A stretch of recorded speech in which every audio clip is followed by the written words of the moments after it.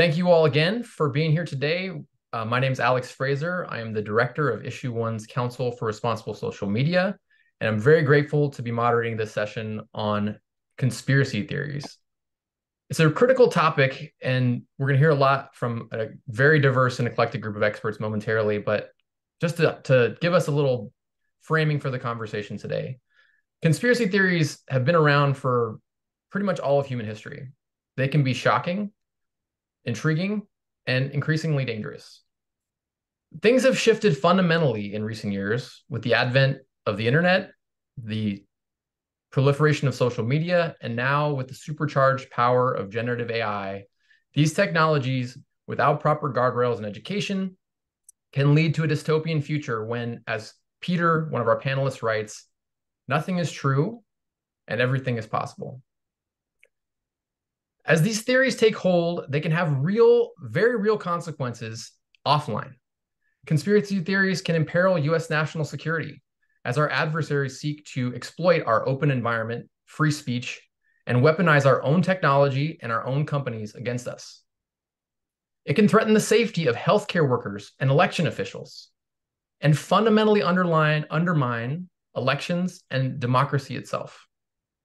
And for many of us, it can have a, a, personal impact as well as it can tear families and friends apart. I know I'm not alone in this, but I have lost a friend to conspiracy theories. Someone very close to me who went too far down the YouTube and Reddit rabbit holes, who never really emerged the same. And this has had tremendously negative impacts on his life and our friendship. And unfortunately, the current state of affairs is not good. According to some recent polling by Imran's organization, the Center for Countering Digital Hate, 49% of Americans agree with at least four statements which align with common conspiracy theories. In other words, almost half of Americans are deeply misinformed. And sadly, the future does not look bright either, because when you go to teenagers, 13 to 17 year olds, this gets even worse to 60%. And over time, with the supercharged power of social media and AI, conspiracism will eat away at the broader information ecosystem and make it difficult to differentiate fact from fiction and truly rot democracy to the core, unless something is done to address this. And that is what we're here to talk about today this challenge and the ways in which we can, the opportunities we have to make a difference. I'm truly grateful to be joined by an incredible group of speakers. Um, I'm going to briefly introduce them and then start this conversation. First, Imran Ahmed, whom I mentioned a moment ago. He is the founder and CEO of the Center for Countering Digital Hate and a council member for the Issue One's Council for Responsible Social Media. Imran formed CCDH to develop solutions against online hate and misinformation in the wake of the UK's 2016 Brexit referendum. During this time, he witnessed the rise of radical violence and anti Semitism in the UK and the murder of his colleague and close friend, Jo Cox, who was an MP, by a white supremacist. Prior to this, Imran served as a senior political advisor to the Shadow Foreign Secretary Hilary Benn and has had a lot of other tremendous experience in UK politics. Peter Pomerantsev is a senior fellow at Johns Hopkins University, SNF Agora Institute, where he co-directs the ARENA Initiative a research project that aims to address the challenges of digital of the digital era, disinformation, and polarization. He's also a well-celebrated author, and his literary work has numerous awards and crit- uh, great critic praise. His most recent book, This Is Not Propaganda, was a Times Magazine Book of the Year. Last but certainly not least, we have Nellie Gorbea, um, Secretary Nellie Gorbea served as Rhode Island's Secretary of State for nearly a decade until January of 2023. And following her, her role as Secretary of State, she continues her contributions to American democracy as a visiting senior fellow at Salve Regina University's Pell Center. Uh, throughout her career, Secretary Gorbea has dedicated herself to supporting underrepresented populations in politics. And we're just delighted to have you and all of the speakers here today. One one note for the uh, the audience is if you have a question, please put it into the chat. Uh, we, we will be doing a Q&A session at the end of the of the panel. We will welcome any and all questions as they come up. Uh, so thank you for that. So let's jump right into it. Uh, we're going to start with setting some historical context. I'd love to start with Peter and answer this basic question. How would you define a conspiracy theory? So look, I, I, don't need to define it. It's it's it's defined in in many dictionaries, and um, you know, usually denotes some sort of secret plot, usually illegal, um, in order to to do damage to unwitting people. Um, and and I wonder how useful it is actually as a category for what we're trying to talk about today. Because look, it's also a legal term. Um, I did a documentary once about how um, you know the fight to recognize how tobacco causes cancer. And at the end, the at the end of the trial, the judge said tobacco companies have been created a conspiracy to defy to deny the evidence that tobacco smoking causes cancer. So it's a legal term. So I think really what we're talking about today is, is not just conspiracy theories, which which can often be true, but kind of what what what what some sort of researchers call a conspiratorial mindset. And, and that's a mindset that assumes that even when there's evidence and plenty of evidence that there is no conspiracy, there's other explanations for an event, you go, oh, no, no, there was some sort of secret plot. And for me, as someone who studies propaganda and democratic communication or the lack of it, for me, the telltale sign when somebody has crossed from, you know, the absolutely rational potential search for an actual conspiracy theory to conspiratorial mindset is when you can no longer have any kind of conversation with them based on evidence. Because they'll always go you may have given me evidence but i know that you're really from the cia and therefore everything you say i dismiss. And that i think is the great danger um, to society um, to, de- to democracy which really depends on us having some sort of shared idea of what evidence is to, to function so I think that's really what we're talking about here. Not just conspiracy theories, which sometimes are true, often aren't true, but actually conspiratorial mindset that despite the evidence will say, oh no, there's a secret plot somewhere, thus destroying the potential for any kind of mutual understanding and conversation. Um, I'll pause there. I can go on for a long, long time. Uh, there, there's a lot of my books about conspiracy theories how they've changed, what role they play now as opposed to like maybe just a few decades ago. But but I think that's really a, a very and like a, a, good place to start to start our conversation from. Um, uh, so so I'll, I'll pause if that's enough. Thank you, Peter. Uh, Nellie or Imran, would you want to add yeah. anything to that before we jump into how technology has changed the game for conspiracy theories? Yeah, no, I think you know the way that uh, Peter has just described it is, is is a very good one and and fits very well with what's happened with elections, right? Uh, you have actual paper ballots. There's an actual number tally, and yet people don't believe the results, and that's a real challenge because there's nowhere you can go with it. You you just, I mean, you have the evidence; it's right in front of you, but the other person will not believe that they lost the election or will purport not to believe that they lost the election. Uh, so this is taken front and center within and elections. They may be wonderful, transparent. They could be very accurate, but they don't work if people don't believe the results.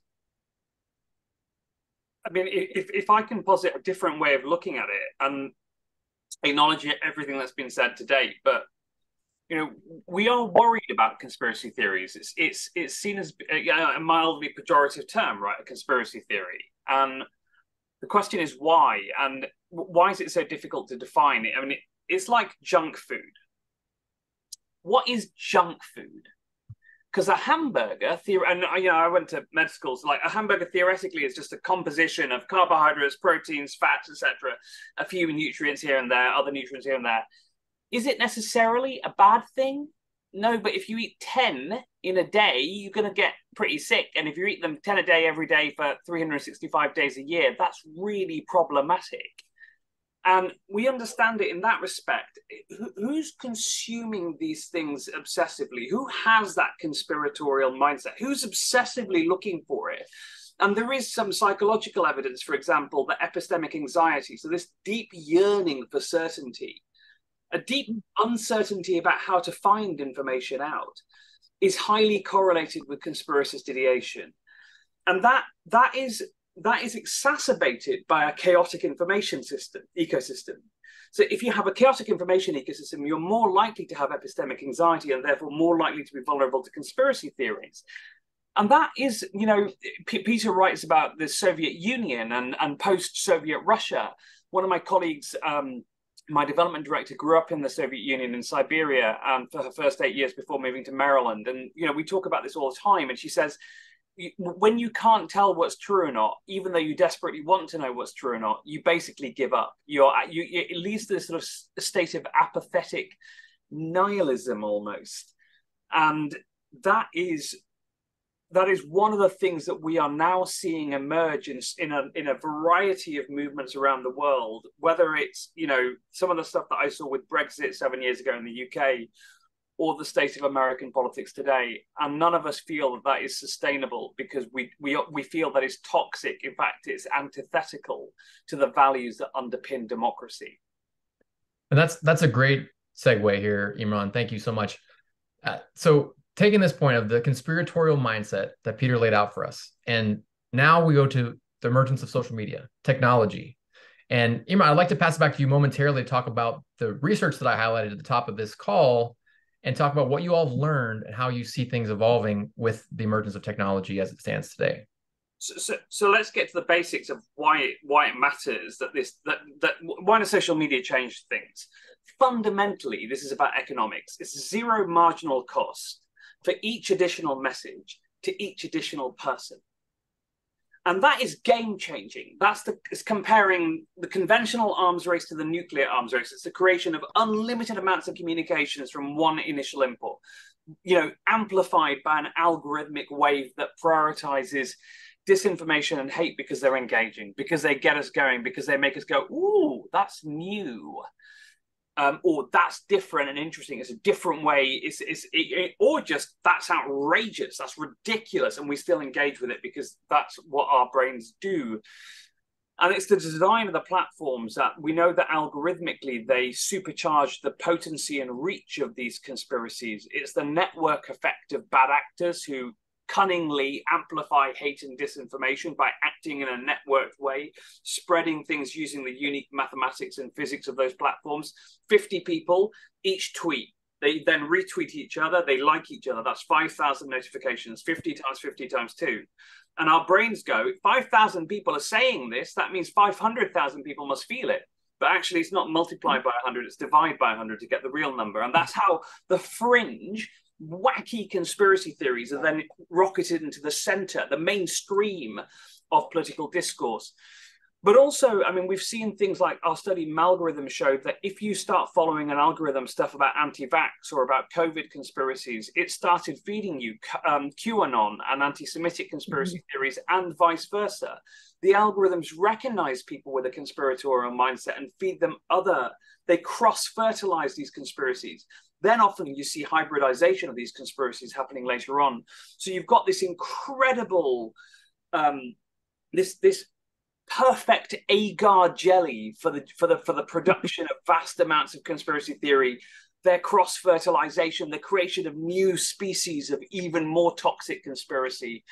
And then platforms don't do anything about it. So even when platforms still used to pretend that they cared about disinformation and hate, which Mr. Musk, for example, at X really doesn't, you know, they were very poor actually enforcing those rules that they had against disinformation and the hateful conspiracy theories. For example, and conspiracy theories are serious, they can lead to real world harm.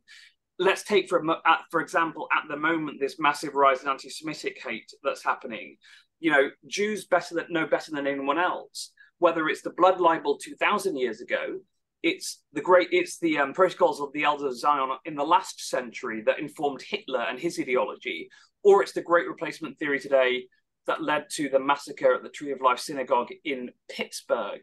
Uh, we know that conspiracy theories and hate are, are often fundamentally interlinked as well but platforms fail to act 89% of the time, even when you report it to them. So when people break their rules, only one in 10 times do they bother to do something about it.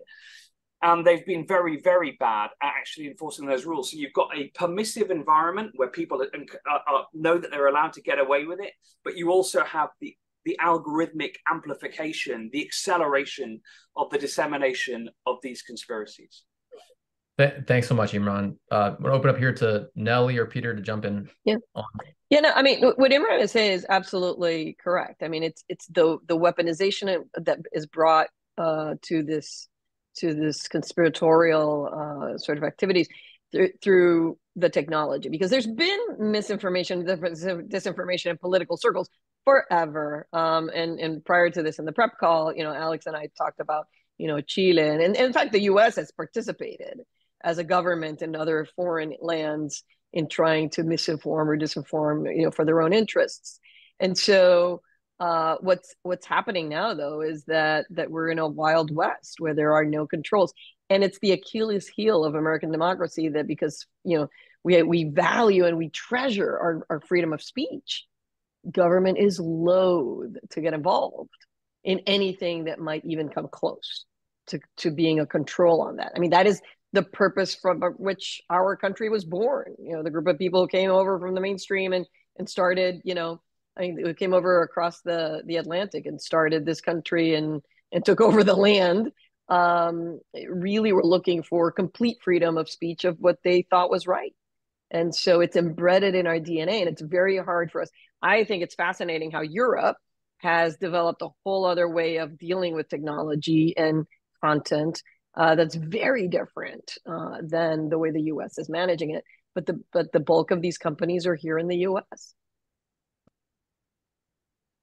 Peter, anything to add here? I think I think a lot, but but but I think um, Imran uh, focus on a, a, little a little point there, which which I hope we talk about today as well, which is the kind of the demand side for for propaganda, for disinformation, and in this case for conspiracy theories because we can talk about the supply side a lot, where obviously technology and distribution is key, but but also we need to think about the demand side. So why are they so appealing in the first place? And and you talked about anxiety. Um, in the research that we've done at Arena, we saw it's very linked to people feeling they don't have a control over their lives. You know, they feel that you know historically um, um, or or in their personal lives that they haven't had much dictation over their lives. Uh, and on the other way around, I've, I've sat in focus groups where people will reject conspiracy theories because they say, "I control my own life. I don't need any of this. Whatever whatever this stuff is, I don't need it." Um, and and that's very interesting. I mean, I do think that's also connected to the technology because I can see maybe why the sort of vast proliferation of content makes people feel anxious and out of control, and so they go looking for the conspiracy theory. So there could be a bad circle that we're in. Uh, but also, I think gives us the clue to to the comprehensive solution. Sure, part of the solution, of course, will be um, you know thinking about how um, technology companies have to take more responsibility for the harms uh, that their content can cause. And I think we are talking about really specific harms now to people's lives, to people's health, and to um, electoral processes. You know, this is not just you know lies and disinformation that, that we, we can start really talking about the harms of some of these some of these um, so, so, so, some of this content but also we have to st- if we really want to start doing something about it we have to really think about um, why there is a demand for it and how we uh, reach out to audiences who are um, who are vulnerable to this sort of content uh, at the end of the day as you say it's freedom of speech territory and there's only so much you can do to stymie the flow of content. Uh, I think there are some things we can do, but they should be limited in a democracy. And so it is up to us to compete. And I think it's perfectly possible to compete with the people who provide this content.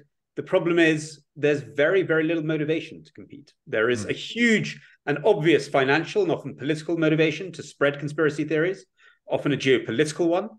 Um, but there isn't much of one to do something about it. Uh, and I wonder how we tackle that as well.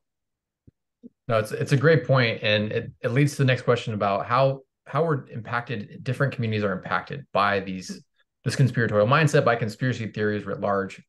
And so, Nellie, I'd like to go to you. You oversaw elections for nearly a decade in Rhode Island, and you saw different communities and the impact, and you've had a particular interest in this for a lot of your career. So, can you talk to us a little bit about how you've seen this differentiate across communities?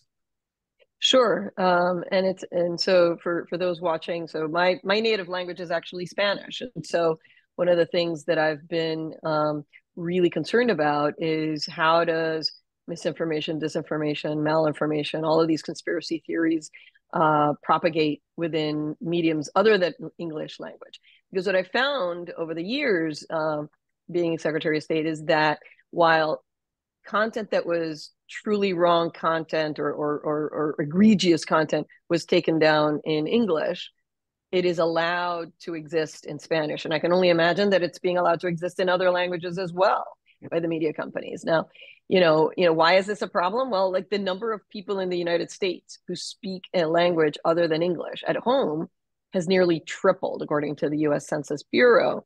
Uh, so we've gone from one in ten to one in five.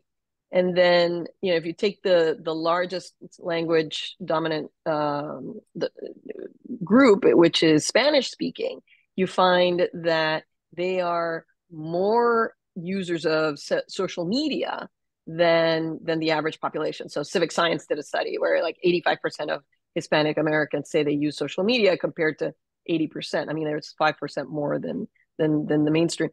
Uh, and so you have them consuming these this information and and not thinking critically about what they're consuming and then reposting it through the WhatsApp and uh, you know all of this the the the, the communication social media apps. Um, so you know really scarily enough uh, the national association of latino elected officials uh, educational fund which has been following this subject uh, for a while noted they they did a survey on where latino voters get their political news. 44% of them say that they're using youtube. Uh, and then there's a whole other chunk that's getting it on facebook and so these are basically, again, Wild West sort of people will post whatever they want. And if it seems like it's reasonable, they just repost it to their family and friends. And suddenly I was on a panel on a TV station in Florida doing an interview during the 2020 uh, election and trying to refute the the other person on the panel who was talking about Dominion voting machines being wired uh, in, in, in, in programmed in, in Venezuela. Uh, and, and, and knowing that this is wrong. Uh, and yet, you know, it, it's just, it's really become a problem in, in not other in communities that speak languages other than English. Uh, thanks so much, Nellie. Uh, Imran, I'd like to turn back to you here. Talk, go back to your research and talk about young people and the, who use in terms of how people are getting their news. Nellie just quoted number of Latinos getting their their news off of YouTube. When we go to news and information, young people are a much much higher level. Can you talk to us a little bit about what you've learned and how you see things shaking out with that generation in terms of our democracy and, and broadly about how conspiracy theories are impacting that? So, uh, a few months ago, we conducted some polling with Survation in the US and UK uh, with a thousand adults and a thousand children in each country and the actual aim of the research was to inform our policy solutions, which, uh, you know, for the, what we call the STAR framework safety by design, transparency of the algorithms, accountability to democratic bodies, and shared responsibility for systemic harms with both, you know, public and, and the companies themselves and we found majority support for that. But because we had some spare questions, I put in a bank of conspiracy questions. So, to what extent do you believe that there is any merit to these nine conspiracies? And what we found really, really surprised us because we found that 14 to 17 year olds were the most conspiracies, they were the most likely to believe each of the nine conspiracy theories and all of the nine conspiracy theories as well that we put forwards now, one of them was, for example, an anti Semitic conspiracy theory. So we asked them, Do you think that Jews control our economy, the media, and our politics? 34% of adults agreed in the US, 43% of 14 to 17 year olds. And then we cut the data and looked at heavy social media users, and it was 54% and those sorts of numbers are really really you know surprising and and and and and disturbing to us. I mean we also asked them more general you know is there a deep state? We asked them you know they're more likely to believe conspiracy theories that anthropogenic climate change isn't happening. More likely to believe would you believe transphobic conspiracy theories um, there was a whole array of these in which we saw this relationship where, where we saw kids are more likely to believe. So that first generation of kids who grew up on algorithmically amplified short form video platforms, TikTok, Instagram Reels, YouTube Shorts, that generation has imbibed and believed more conspiracy than any other age cohort in our in our study. Now that you know the sorts of numbers we're seeing where a majority of 13 to 17 year olds believe a raft of conspiracy theories, that feels concerning to me. I can't tell you that it's that it means that our democracy is under threat, but it certainly doesn't make me feel that our democracy is safe. Thank you. Peter, you want to jump in on this? Well, um, I think that not you know it's very interesting looking at the, the, the data among among young people and and very very worrying. Um, but but but but I think that um you know I think the connection is is very much between a sense of instability, confusion, and and so on. We really have to think about what what do conspiracy theories provide people. Uh, maybe teens are particularly um, vulnerable to that, but but I think many segments in society can be. Um, and and that is, uh, you know, as Imran said, they can give you some sort of epistemological comfort in a confusing world. Um, I think even more so, they give you a sense of community of us versus them. It's us. There's a conspiracy against us by somewhere around outside. And in a time when kind of both social identities but also sort of communities are, are changing very fast, um, that can create a huge amount of of of comfort. Um, there's a great line from Jacques Ellul, my favorite philosopher of propaganda, that propaganda is the remedy for loneliness. And, and I think that's very, very true. I think uh, the rise of conspiracy theories during COVID, when everybody was very atomized, all our usual social bonds were broken, and you saw this ups, upsurge of conspiracy theories, is no accident. Um, and, and I, I, I would dwell on that moment for for a little bit. I mean, uh, I guess these are young people who who who I had a teenager who went through COVID. Um, very very strange if you're growing up um, um, in a time of COVID, you lose sort of two years of your socialization. I could see a whole generation mm-hmm. um, really pushed into mm-hmm. social media and a sense of complete confusion about their communities um, as COVID was happening. I, I, wonder whether that has played a, a, a, big role for that that generation. Um, and, and, I think it's very important to keep in mind. So it's not just epistemology; it's it's a feeling of community, often a, a feeling of superiority because you're in, you're in on a mm-hmm. secret. It's very very important. I remember one really interesting piece of research by the Institute for Strategic Dialogue about uh, QAnon conspiracies, where actually a lot of the people in the conspiracies didn't know the details of it, and before that they'd been into Pizzagate. So they were jumping from conspiracy to, to conspiracy theory without necessarily knowing all the details. So it wasn't just about knowledge, it was very much about community. And again, as we start to work those things out, again, I think there's very important elements to, to discern as we think about how we can um, counteract it. Yeah. Thanks, Peter. Uh, we're about to enter into another election year, another biggest election of our lives, of, of our future of our democracy, et cetera. And obviously, the information environment has continued to play a huge role in this. So, as we approach 2024, how does the presence of this conspiratorial mindset and these these conspiracy theories online affect U.S. elected officials? Nellie, I would love to turn to you to give us a little flavor of how this has impacted you and how you see it impacting all of your colleagues around the country. Sure. Well, you know, it it's been incredibly detrimental. Uh, you know, it's making it increasingly difficult for election officials to do their job um, because conspiracy theories and these and this mindset is is really a corrosive uh, force in our democracy.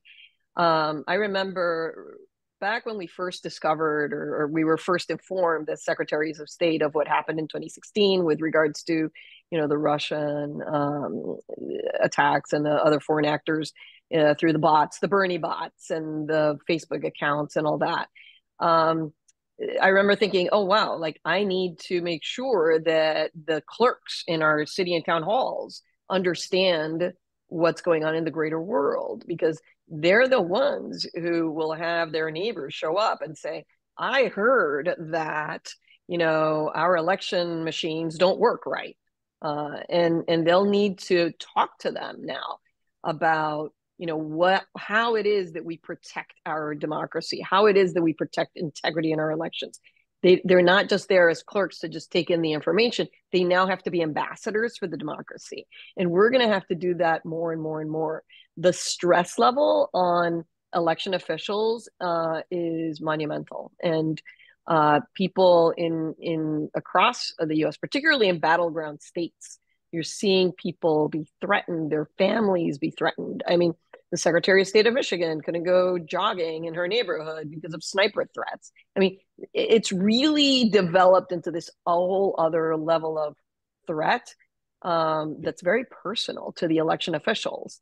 Um, and this drumbeat of there's fraud in the voter rolls and, you know, uh, Trump won the 2022 elections. Uh, it's so damaging uh, that we really uh, need to somehow figure out a way to get people to take a step back. And and I agree, content can't be all regulated because we do believe in in, in the freedom of of speech. Uh, but we need to start teaching critical thinking skills around media absorption uh, in our schools uh, to be able to get them to stop, pause before they reshare something that really is not true. And you're previewing. We'll get to solutions in a moment. That's a great preview. Yep. Uh, before I move on, I just want to remind the audience that uh, if you have a question, please plug it into the chat. We're going to have some time for Q&A at the end. So just a reminder to folks, if you have a question, please to throw that into the chat. I want to pivot now to Peter again, and I want to talk about conflict, international conflict. There's wars all around the world. People know about Ukraine and, and the Middle East, but there's obviously a lot more conflict than that going on as well. But these two have really heightened things and and and brought uh, the information environment and its role to the the forefront. So I wanted to to ask you, uh, you you know this quote this phrase I noted at the beginning: "Nothing is true and everything is possible." I'd like you to talk us through what that means and how does this phrase relate to what you're seeing play out in between Israel and Hamas, in Russia and Ukraine, and elsewhere around the world. Um, sure. Um, so the, the phrase was uh, my attempt to diagnose what I saw in Russia. Um, in the sort of first decade of the of the Putin era. Um, and um, my first book was called that, and it's a it was about a sort of propaganda whose aim was much less to convince you of some sort of clear ideology based on I don't know an idea of history or something, the way communism did, and a different type of propaganda, which is try to spread so much chaos and confusion people couldn't tell the difference between truth and facts which led to the apathy that Imran mentioned and a kind of, you know, a sort of despair about any kind of democratic engagement. But also, I think, and we see this in study after study, when people become super cynical about information sources, they don't end up free and liberated. They actually get driven towards um, a malign version of identity politics. I mean, where the only thing that matters is is your identity, and, and often a very propaganda constructed identity that's very aggressive and, and, and paranoid. Um, so you don't end up. This is the this is the great paradox that the when you reach an extreme point of skepticism towards everything, you don't end up the sort of liberated rational thinker. You end up the opposite, almost in a sort of medieval mindset, where where there are shadowy forces you can't see controlling the world, and life is is fearful, and you cling on to an identity that's often provided by by the propagandists. I mean, in the case of Russia, it's a sort of a, a, Russian imperial identity that no one can really explain in great detail. It's just a sense. You know, there's you can't trust anything out there, but we know that we're Russian and everyone's out to get us, and we've got to hit them first. It's kind of what you end up with. So that's what I was talking about. Um, in in in in the current war, uh, in um, in in in you know in Israel Palestine, um, I, I I think that um um, you know, we have several moments in the war where, where even when the evidence was put forward, for example, around the sort of the the the, the, bombing of, of of the hospital early on in the war, where everyone sort of jumped to their own conclusions, and even when the evidence was then rolled out, it was sort of too late. It turned out that sort of a, I think Islamic Jihad or something had had hit one of their own hospitals through a technical fault but already it was too late. There were huge sort of crowds uh, protesting an Israeli war crime and, and so on and so forth. So I think that that, that could be a, a, a small example where really evidence and truth don't matter anymore, and just we're in a in a space where everyone is just taking any piece of content to defend their their biases. Um, so so I think I think I think that that, that that's an example um, in that particular conflict. But but I mean, in in many ways, um, the divisions in in that conflict are so deep and in some ways very very genuine. I think it's almost much more interesting when you see it really come out of of nowhere and sort of a vicious polarization um, appear where where there didn't seem to be one, or when you lose a friend or a family member to to an identity that that that, that was never there before and is much really sort of created through propaganda and like qanon would be a really really radical example to think about um, so so you know there, there are huge cleavages already that that various types of propaganda and conspiratorial propaganda can can play into but what's really interesting is, is when they kind of really appear in in spaces where where they weren't before or we'd never noticed a cleavage there uh, Imran or Nellie, two two minutes. Any quick reactions to this question to add on?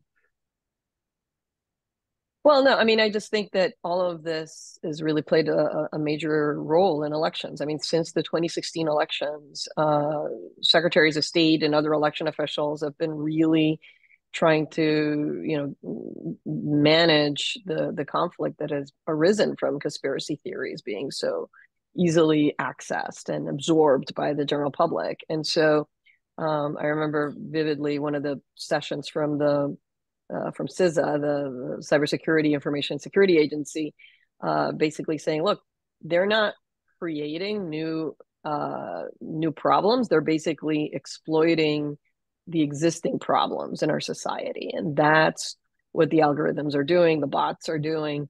Um, uh, you know, a, a, a, very quick story about about the 2016 election, I you know we woke up on on the presidential preference primary day uh, to a barrage on Facebook on our Facebook account for the office, uh, saying that we had somehow controlled the primary to benefit uh, Hillary Clinton instead of Bernie Sanders, and the my office has nothing to do with the actual running of elections. There's a separate agency in our state that runs the day of election because I'm an elected official. So we were very calmly, very, you know, we would just send out, we prepared a text and we send it out. And then three more would show up. And and it was a really odd interaction, but we didn't really know what was going on. And we kept very rationally trying to respond to these people. I finally basically decided I didn't really care because it was all these people from anywhere outside of Rhode Island.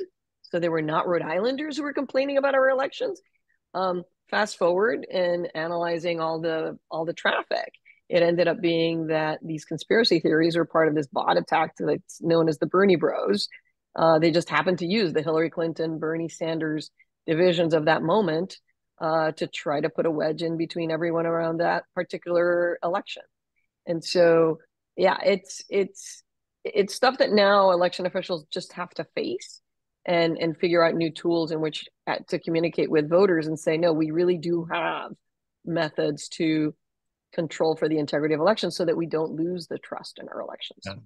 No, and thank you for that, uh, Nellie. It's a really important point to tie this all together back to our elections here. So we have two other questions we want to get through on our side before we open up to the Q and A, and I, want to just briefly ask this question to you all to have very quick responses, but I want to do a whip around. We think about the emergence of deep fakes, generative AI, and the current ecosystem that we have uh, in the information environment. What are the implications for democracy if we don't make changes in the US and around the world? And if we could, I'll do start with Imran and we'll just do quick responses on this one. So, so the, look, there's there's two concerns here. The first is that you've got the drip drip. I mean, like January the sixth wasn't a disinformation moment; it was mobilization of the already disinformed. It's the drip drip of disinformation over years and years. The frequency bias that makes people believe that the untrue is true because they see it so frequently um, and those those happen over a period of years, recoloring the lens through which people see the world. So in the moment, they can be activated. And right now, we're seeing that. We're not seeing a lot of disinformation right now about Israel Palestine. It's mobilization. It's here's a dead baby. We told you about the Jews. Now go and hurt them. You know. Um, I think, and, and that's the one is that we've got to be able, we've got to be scientific about distinguishing what's mobilization, what's disinformation, how does how does often correct information if promulgated again and again and again and again to someone on a on, on a disproportionately frequent basis start to recolor their understanding of the world around them. We just have to be more mature about it. The second thing that I think that I'm I'm I'm deeply concerned about though is that if you have a generation that do not believe in the possibility of there being objective facts that we can all agree on, and generative AI's biggest problem isn't just about the flooding of disinformation, the, the zero cost for producing it, but also the fact that it, you know, if the if the Billy Bush tape or whatever it was came out today, you know, someone could just say, that's a deep fake, not true. And so if you can't even believe what you see or hear with your own eyes and ears, it just lends greater, it, it creates even more anxiety about certainty mm-hmm. uh, and, and, and, in, and insufficiency of understanding of facts. And I go back to sort of thinking about Thomas Hobbes and what he wrote about the state of nature. He's a 17th century British philosopher. He said, you know, it's the state of nature where no one can trust anyone else. No one knows what anyone else believes, and so therefore you don't know whether or not you can trust them. Well, that is a recipe for a pretty dire state of human of human life. You know, yeah, nasty. Sure, Nellie. Lives. Yeah, I mean, I think that the danger here is we lose our democracy. Right? It becomes easier to trust somebody who's going to tell me what to do under an authoritarian regime than than to actually engage with others in in in a democracy. And so, I mean, to me, we need to absolutely be talking about this. We need to, we need more communication. We need more critical thinking skills being taught in schools. We need more civics for people to understand what the systems are. Um, and then we need metrics. Uh, you know, the Pell Center just um, did a survey in Rhode Island around polarization. And we need to measure this stuff and have the information to see whether we're gaining or not, because data is going to be key to help us figure out, you know, sort of what the path is. Yeah, Peter, as, as you think about crafting your response here in terms of the, the implications for our democracy, I'm going to ask you also then to give your answer to the last question, which is what do we do to fix this? Mm. What are the mm. solutions that we have going forward to really ensure that this does not erode and destroy our democracy, as Nellie just pointed to? Uh, I mean, look, there's this sort of like um, mitigation strategy, um, um, and you know, I think I think I agree. I completely agree with Imran. We have to decide what it is specifically we're trying to mitigate. Yeah. So, so what is? Let's start with the harms and and, and work backwards because trying to police all speech is is, is going to be too complicated. Yeah. So, so at the very basic level, it's it's protecting you know public health harms, institutions like elections from harm.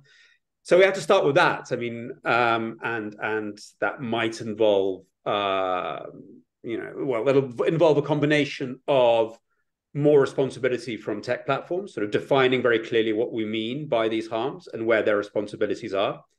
I mean, something like QAnon, I think definitely we saw how that jumped from, you know, the various 8chan's bit of the internet onto YouTube into the almost the mainstream. So that was there was a clear moment where the tech companies could see potentially something building and have a responsibility from that jump not happening.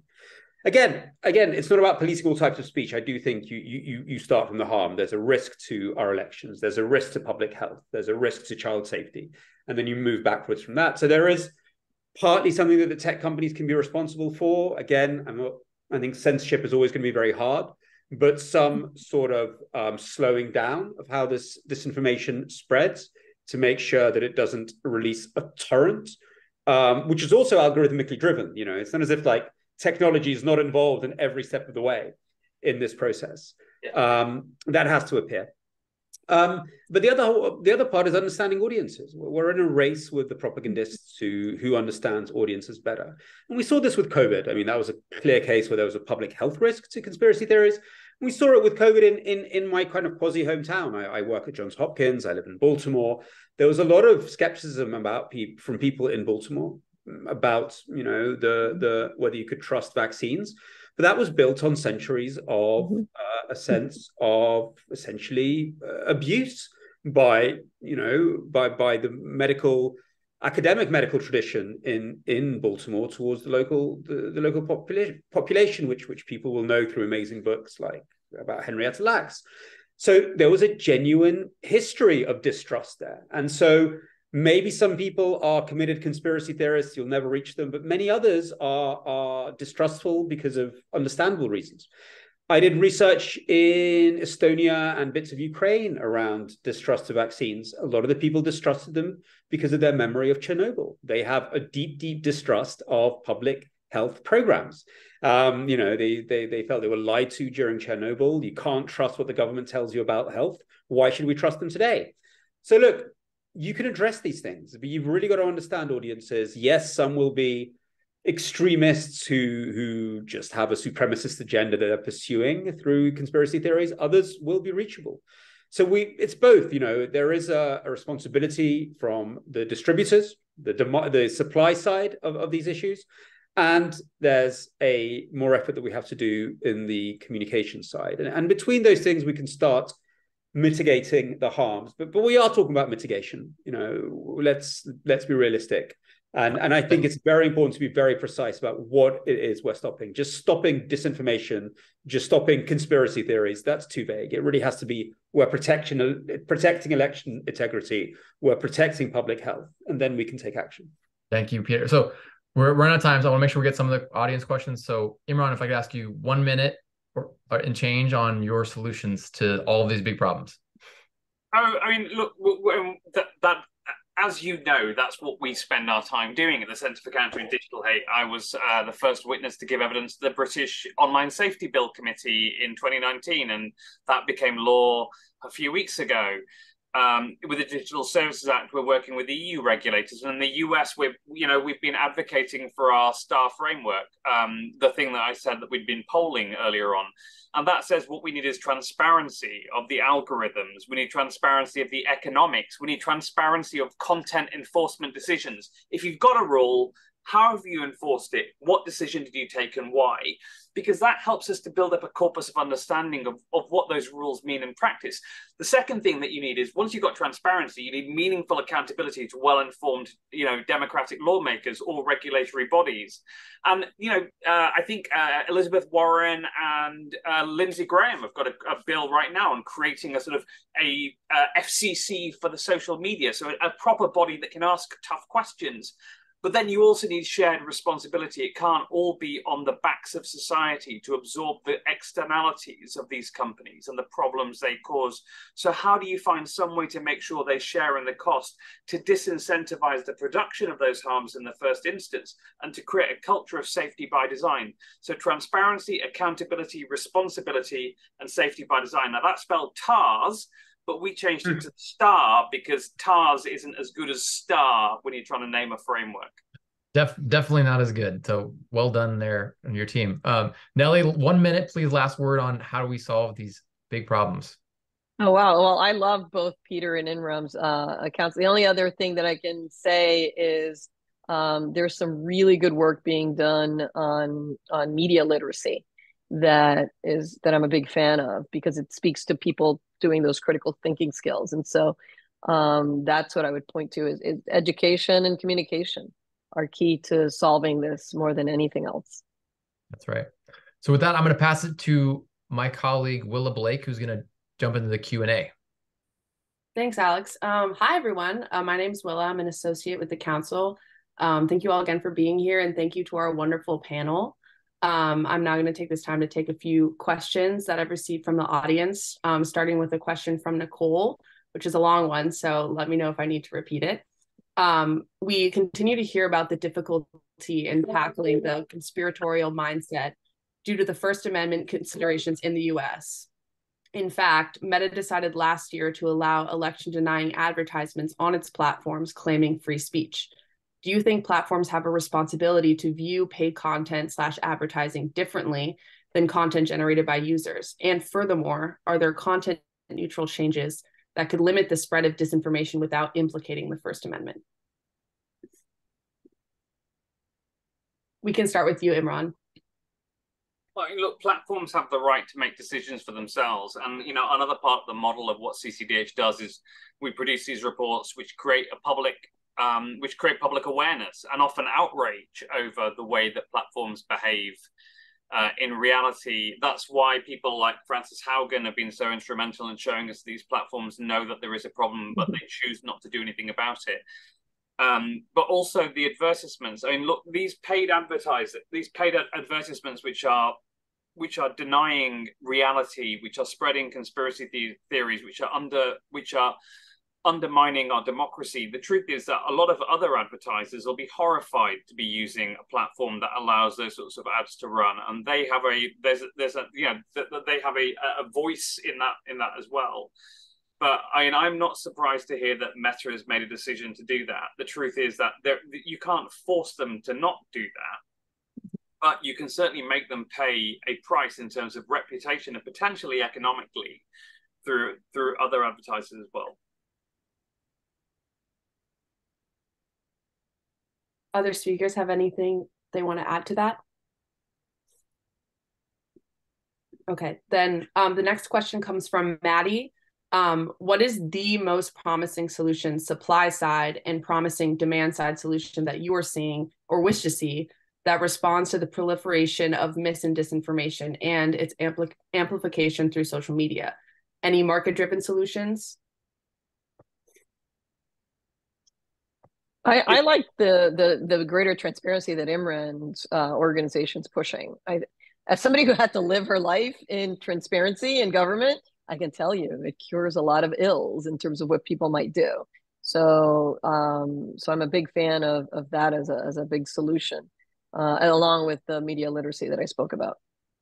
But transparency needs accountability as well. It yeah. needs and it needs meaningful sanctions, and so meaningful sharing of responsibility. And you know, that's the problem with transparency is a silver bullet. There is there is no silver bullet, is the truth to any of this. It's gonna this is a systemic problem, a 20 year experiment we've run on our society and on our children. And we need a systemic solution to it and one that's adaptable it's not going to be a, you know one framework in place isn't going to work straight it won't work straight away and it won't work forever you're going to need to adapt and iterate on it so what we need is confident lawmaking confident regulation and as opposed to what we have right now, which is absolutely woeful, uninformed, useless lawmakers in Congress who are fighting each other rather than passing laws. Actually, doing something to have the backs of parents, of all those in society who worry about the harms being generated online. Peter, anything to add? Look, I'm not, I'm not a First Amendment uh, expert, and America has its own unique traditions. I do think it's very important that democracies come together on a common vision around this, sort of a baseline that we can agree on. Um, and, and I think it can be in line with, with First Amendment principles, with principles of universal freedom of expression. Um, I always like to put it this way, and it plugs into Imran's sort of question. I mean, let's go back to the right of the person online. At the moment when we're online, we don't understand who is behind the content that we're seeing. We don't understand who organizes conspiracy theory. We don't understand why it's targeting us and not the guy next door. We don't understand which of our data has been used to target us. We don't understand why an algorithm shows us one thing and not another. So weirdly, despite the seeming sort of like torrent of information, we actually don't have access to a lot of information. So let's start with that. That is still within the logic of the First Amendment. That's the demand for more information. First Amendment and the you know, Article 19 of the Declaration of Human Rights are about the right to receive information. So let's, if we ground things in the right of the citizen to understand who is influencing them and how, then, then I think, which is, you know, gets this transparency question straight away, then I think we are on, on really solid territory. I do think it's important for democracies, EU, US, Australia, and, and, and, many other of our of our partners where these laws are being developed. There's a reason I named those countries um, um, to be able to find a common baseline. And you know, I, I spend a lot of my time thinking about authoritarian regimes. That's the sort of information that China and Russia don't want their citizens to have. They don't want their citizens to know how um, they are controlling their increasingly sort of separate digital space. I think it's a real opportunity. Look, ours is different. It may be messy. Our information space was always messy. Well, there'll always be disinformation, but people have more rights in it. Yeah, that's also, you know, the right to receive counter information. So if you're receiving non-stop disinformation, I mean, should there be something built in which says that you you you receive uh, a balance to that as well, and you have a right to receive that. So let's go back to the right to the individual and, and see to what extent we can counter a lot of these issues by going back to those fundamental principles. Um, it's always going to be hard when we invent new ones. Um, let's interrogate the ones we have. If I could just add one point as well on the market-driven solutions part of it. I mean, you don't government shouldn't be in the in the in the business of defining what speech is allowed and what speech is not. It really, really, really shouldn't. Mm-hmm. But I can tell you that you're a scumbag if you use identity-based hate terms. I can tell you that you're spreading lies because I'm a private citizen. Uh, and, and my organization is a 501c3. We're allowed to communicate. It's part of the marketplace of ideas, right? And what's been quite interesting for CCDH is that we've been trying to, well, what we're obsessed with is not just studying the spread of disinformation, but levers that we can we can increase friction, we can reduce the the, the, the promulgation of disinformation. So we, for example, go to advertisers and show them what we're finding. And those advertisers, as an example, when X was taken over by Elon Musk, there was a massive rise that we identified in the use of the N word and other identity based mm-hmm. hate terms. He lost 50% of his advertising as a result and had to make decisions based on it. You know, he had to bring in Linda Yaccarino and say that he was doing better. But the truth is that those sorts of solutions are very, very effective in driving change because, and they don't need government intervention at all although transparency would help us to do our job more effectively by because by having access to data guaranteed we'd be able to do an even better job i think unfortunately we're uh, was near time here so uh, instead of asking one more question i'll say is there any last word from nellie otherwise we're gonna i'm gonna close this out.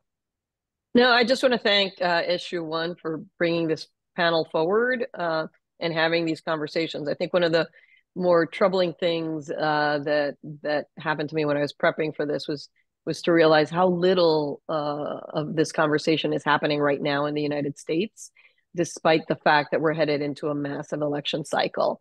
And you know, talking about it after the election cycle and learning what happened wrong is definitely not where I want our country to be. So, yeah. thanks to issue one. No, thank you. Thanks, first of all, to all the audience members for joining us today, for your time, for your attention, for your interest. Apologies to those who asked questions and could not get them answered. Uh, it was a robust conversation. If you want to follow up with us offline, we were happy to forward those to the speakers or answer those ourselves. And thank you to the speakers for that really rich dialogue and conversation. Your your expertise, your experiences are so impactful to this. Uh, we at the Council for Responsible Social Media are having these conversations. We are working actively to try to find solutions. That is what we're about bipartisan ways to really move the needle and fix these major issues for our democracy, for our kids, and for U.S. national security. So, again, want to thank you all for joining us uh, and wishing everyone a great rest of the day and happy Thanksgiving.